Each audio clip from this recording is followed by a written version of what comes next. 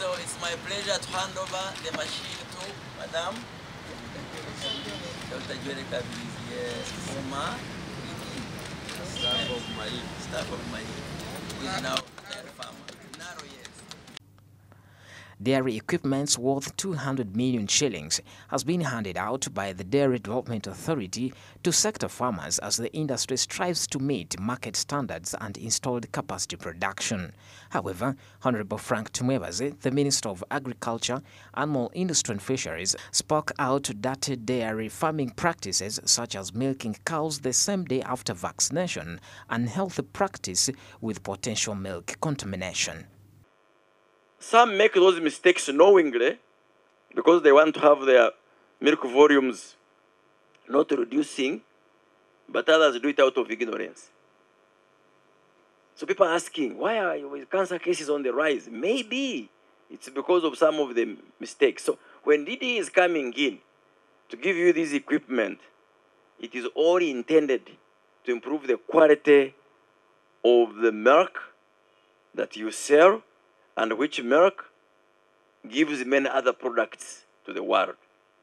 According to the financial year 2021-2022 annual dairy performance report by the Dairy Development Authority of Uganda, dairy exports generated more than 382 billion shillings, exactly 103 million US dollars, as compared to the previous year.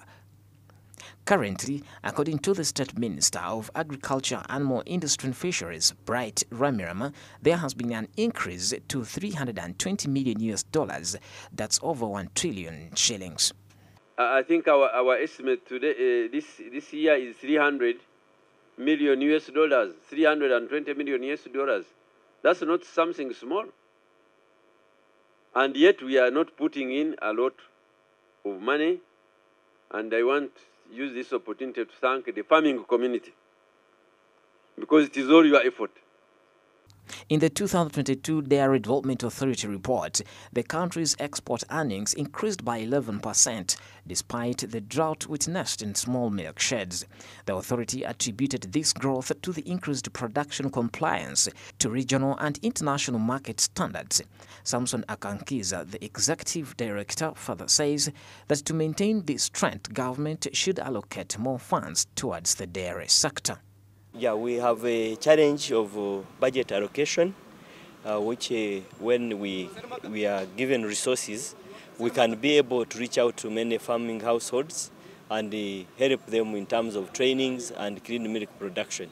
But also we have other unfunding priorities, unfunded priorities, like uh, revamping the Entebbe Dairy Training School into a College, to be able to have many technologists and technicians in the dairy sector.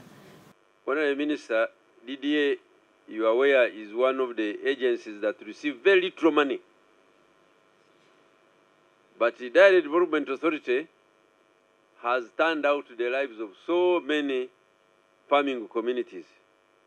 According to the financial year 2021-2022 annual dairy performance report once again by the Dairy Development Authority of Uganda, the national per capita consumption stood at 62 litres, far below the 200 litres per capita recommended by the World Health Organization.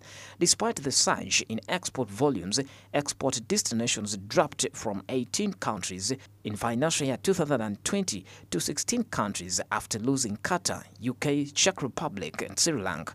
Only two countries, that's the US, Somalia, were registered as the new market destinations.